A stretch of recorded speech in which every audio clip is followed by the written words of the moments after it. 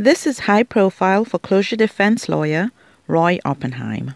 I was quoted at one time as saying that you know foreclosure defense is the bottom of the barrel. It's it's it's lower than being a divorce lawyer. And this is the story of how he spotted a business opportunity that turned bottom of the barrel foreclosure work into one of the biggest practice areas in town. In, in the in the pecking order and integrity of, of, of legal practice, it was at one time deemed you know just just a a, a very low prestigious area of the practice of law. I think I think we have remarkably turned that around uh, in, in a decade. But but going into it, you know, you know, you go into a cocktail bar. Oh, I, I defend homeowners in foreclosure, and people would sneer at you. you see, Roy is a Princeton graduate who rubbed shoulders with Harvard alum. He started his career as a corporate lawyer, working with firms that represented Jacqueline Onassis, Big Wealth, and major developers. When he moved to Florida in the 1980s, he continued to represent big developers making real estate but that all changed when the housing market imploded in 2008 and a new sort of clientele walked through the door. Everything we were previously doing in representing developers and builders and refinancing, all that stopped. It stopped on the dime. And one day you'd come into my office, and instead of it being crazy and phone ringing and everyone running around, it was like a morgue. And you could hear, you know, a penny drop on the carpet.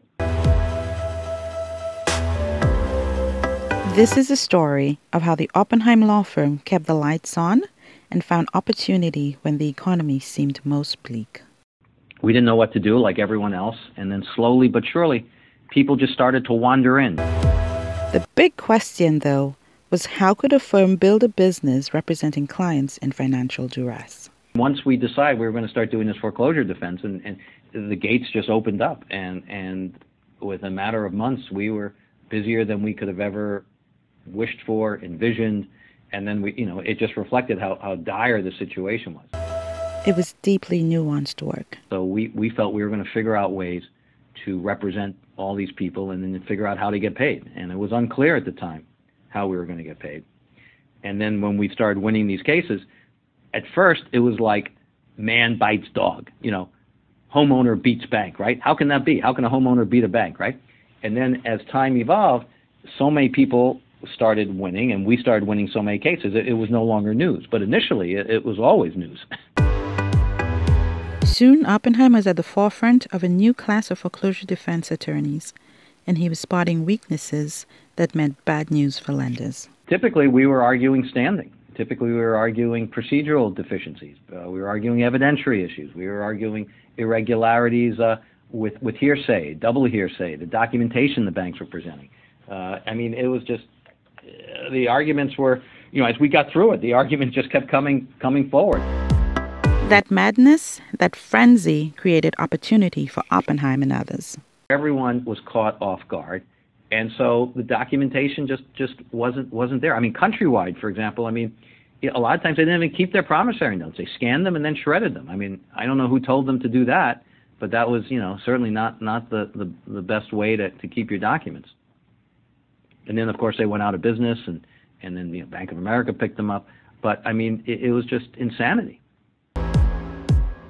And everyone knew there was something. It just kind of rubbed me wrong that you know how this collapse occurred.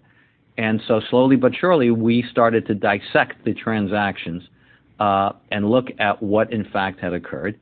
And we began to realize that, that the banks, in most circumstances, did not have the prerequisite evidence to bring an, an effective foreclosure suit in the state of Florida. And soon it seemed everyone in town was catching wind of the growing industry. What I found really funny is that top firms like Greenberg, Akerman, um, and a whole bunch of other firms ended up doing foreclosure prosecution on, on a bulk basis. so it, it, all of a sudden, you know, the, the, all the mighty had fallen. You know, we never thought that a Greenberg Traurig would bring a homeowner foreclosure defense, you know, a foreclosure, or that Akerman Senterfitt would, would do so, or a Greenspoon Marder would, would start bringing these kinds of actions on a, on a bulk basis. Never, it never occurred to us because these, you know, we, we these these are top firms, but but it, there was money to be made, and they figured they might as well jump in like everyone else. Florida was one of the hardest hit states in the last foreclosure crisis and that meant brisk business and new hurdles for attorneys like Oppenheim. It was literally one of the darkest eras in the period of, of, of the Florida legal system. And, uh, and there are vestiges and manifestations that continue to this day that, that we have to deal with. And there are, you know, routinely flare-ups. And sometimes, you know, I hope that we could put this behind us and I can go back to just being a conveyancing lawyer and helping my developers and, and, and my other real estate clients with their investments. And then I get drawn back in to this whole mess. And I don't choose to get drawn back in, but I just get drawn back in as an attorney because there's some crisis that occurs that, that, that warrants my involvement. In the decades since the crisis, hundreds of thousands of cases have worked their way through clogged dockets. And these days, as the last few make their way into court, Oppenheim hopes for a return to normalcy. Through that all, we were able slowly to get back to what we were doing before the crisis. And now we're back at representing some of the best developers uh, in the country. And uh, I think they find it, frankly, amusing. And I think they like the idea that, we're fighters and, that you know we're willing to uh, to do what, we have to do to get the job done. And, and the way I see it is that you know if we could work for homeowners who had very little money and do what we were able to do. You know, what can we do for someone who actually can afford to pay for my services? Thanks for listening. For the Daily Business Review and ALM, I'm Samantha Joseph. You can always hear more conversation with industry leaders on law.com.